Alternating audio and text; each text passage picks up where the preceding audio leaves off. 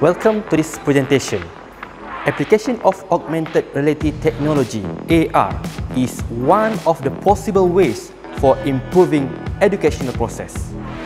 Main objective of the system is teaching the process of cooling system of a vehicle to students.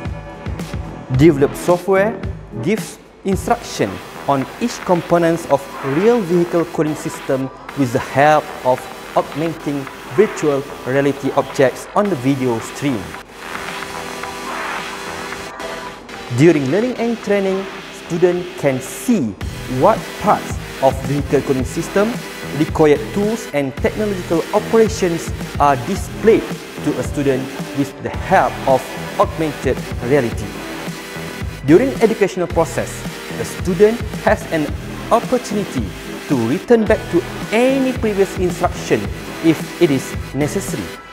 Develop augmented reality systems, AR, makes educational process more interesting and intuitive. Using of augmented reality system for engineering education in automotive technology makes learning process easier and financially more effective.